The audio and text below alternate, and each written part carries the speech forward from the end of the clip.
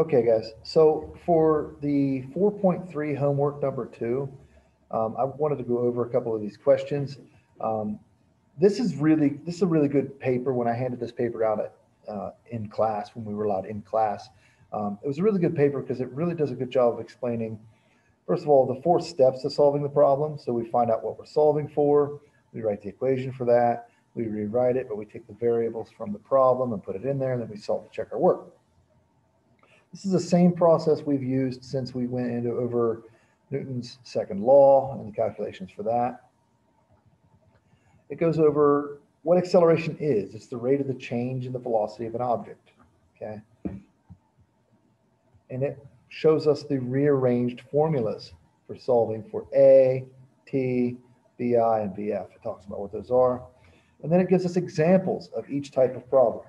So this paper is a lot like what um, a physics textbook might show you. Okay, it talks about all the different relationships and it gives us examples of each. I want to go, and so here's our example for acceleration, example for finding time interval,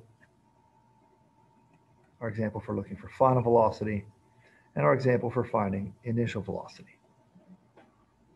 And it's kind of in order from the easiest to the hardest. Um, that's kind of how those are arranged. So we're going to look at problem number one. Okay. It says, while traveling along a highway, a driver slows from 24 meters per second to 15 meters per second in 12 seconds. What is the automobile's acceleration? It says to remember that a negative value indicates slowing down or deceleration. So we want to know what its deceleration was actually. So we would look at our example up above. If we weren't sure what to do here, we could just look at our example. Um, and then we saw, we, begin with step number one. Okay, step number one is to decide which equation we're going to use. What it asks directly, it says, what is the automobile's acceleration? That tells us that we're going to use our A equation right away. A equals VF minus VI over T. And we remember that sometimes this value up here is already done for us, right? Sometimes it's already done for us, but, but in this case, it's not. We've got step one finished. A equals VF minus VI over T. Step two is to figure out what is the final velocity.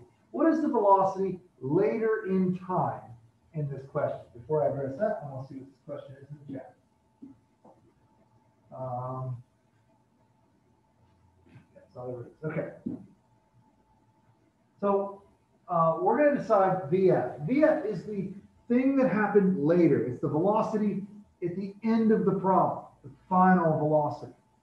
So it says while traveling along, the driver slows from 24 to 15 meters per second. That tells us that 15 meters per second happened later. This is VF. That makes this VI. So A equals 15 minus 24. Well, as Mr. Wayne just went over in you guys' um, algebra class, the algebra lecture he just did, we need to get comfortable with having negative values, with having negative numbers. Okay. 15 minus 24 divided by t. We go in, we figure out what the t is. Boom, here it is. This is 12 seconds. That gives us our math problem. 15 minus 24 over 12. I'll be honest with you, I didn't sit down and work these out ahead of time, so I'm to grab my calculator. 15 minus 24 gives us negative 9. A equals negative 9 over 12. Okay. Then we divide 9 by, sorry, negative 9 by negative 12. Gives us negative 0.75. This zero is completely arbitrary. I often won't include that zero, but I'll put it there so you guys are clear. This decimal point here. Oh, that is not a whole number. That's a decimal. Um, guys, you've got calculators, right? I'm not asking you guys to do long division by hand. I'm not asking you guys to do this, uh, you know, the hard way. So yeah, we punch in the calculator. That's what we get. We get a negative acceleration of 0.75. That is, every second, the car slows down by 0.75 meters per second. So after second one, it slows down 0.75. After second two, it would slow down by one and a half. After second three, it would slow down by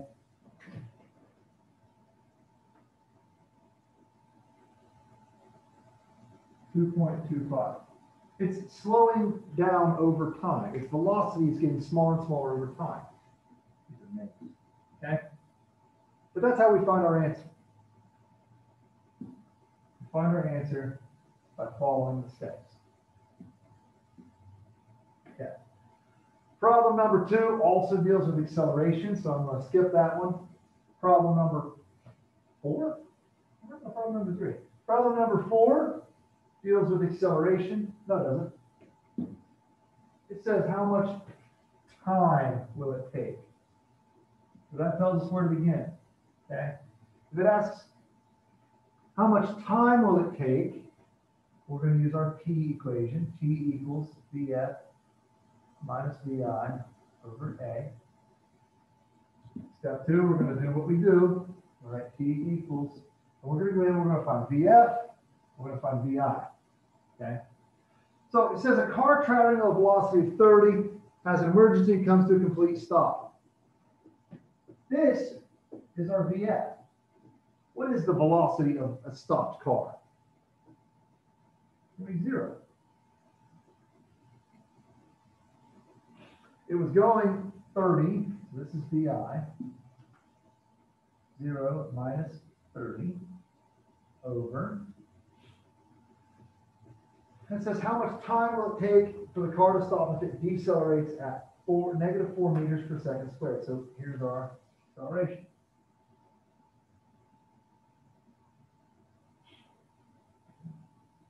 Yeah, we've got some negative numbers in here. That's okay. We have calculators. As long as we put it in the calculator properly, as long as we follow step one, then we go to step two. When we go to step three, this will work out just fine on our calculator. T equals 0 minus 30 is negative 30.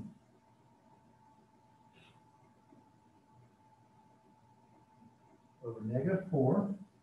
Well, what's 1 fourth of 30? I don't know, but I can ask my calculator.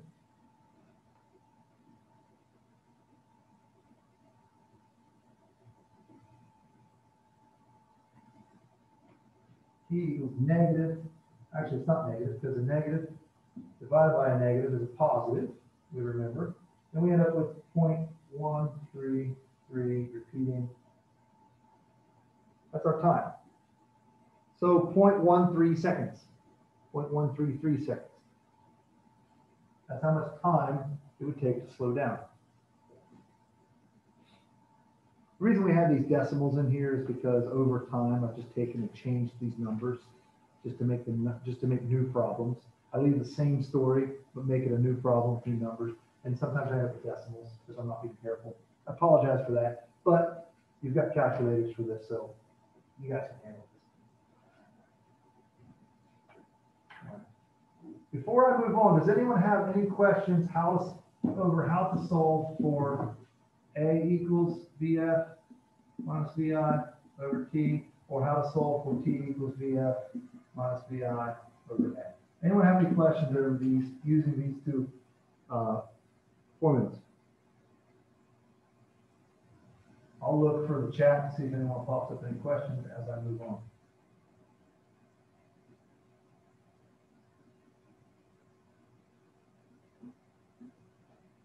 Problem number five gives us an interesting problem. It says a car can go from zero to 60 in eight. What will be its final velocity after five if its starting velocity were 50? This is a compound problem. We have to solve one problem to get to the other. It's asking for VF. So we're going to use, we're going to write that equation out. VF equals, um, sorry, VI plus AT.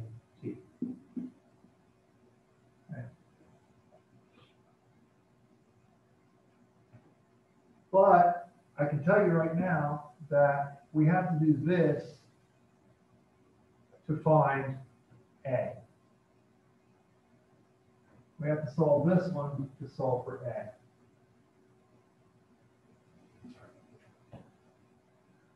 So we'll go ahead and do that. A equals zero to sixty, that's sixty minus zero over eight. Now we can figure out what the acceleration is. Tells us that this car can accelerate seven point five. I'm just gonna write this up in the corner. So so I track of it. I'm sorry, which finish one? This was homework. This was homework that was assigned you Tuesday.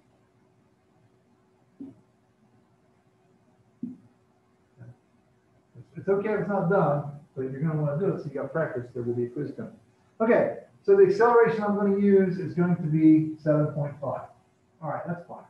We rewrite, we go to step two, VF equals, well, VI, we're gonna use the starting velocity from the problem, That's fifty, plus A, which we found up here, we had to solve, this is A, right here, gives us A, which is seven and a half, times, T, how much time? Well, 15. So this is a compound problem. This is a problem that had two steps to it, or had two problems there. Once we solve the one that I highlighted in green here, we can go ahead and use our VF equation. All right.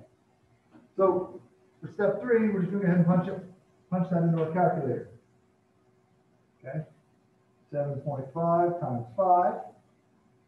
Okay. This gives us uh, VF equals 50 plus 37 and a half, 37.5. We rewrite that VF equals 87.5. I'll punch that back in the calculator, that's what I get. Uh, I'm looking for questions on this problem. Does anyone have any questions on how I solved this problem? There's an extra step here because of this bad boy. Um, and I forgot that I put that in this homework, but it's good for you guys to see. In the real world, we can look and we can see if a car can do this, if a car can do this, then we can figure out what it can do if it starts out at 50 miles an hour. Okay? This is what science does. It gives us the ability to predict. Okay? It helps us to predict. Okay. So that was a final velocity problem. Now we need to go find an initial velocity problem, then I'll tell you guys this. What you guys got? This one says final velocity. This one's looking for acceleration, deceleration, final velocity, final velocity. Time interval. You know what? I don't have a VI problem on this homework. Sorry, I'll fix that. Cheetah speeds up as it runs. It goes for four seconds and accelerates to 10. What its final velocity was 50. What was the cheetah's initial velocity? Well, we're going to use our equation. VI equals minus. And I'll put this in parentheses because that's what I've done. And it gives it a nice form, right? Step two, we rewrite that. We'd say VI equals. Well, so the final velocity from the problem. The final velocity from the problem was 50.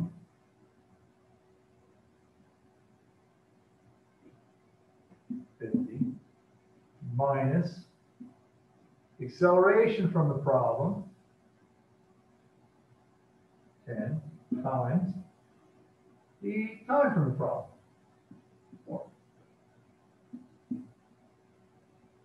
VI equals 50 minus 10 times 4.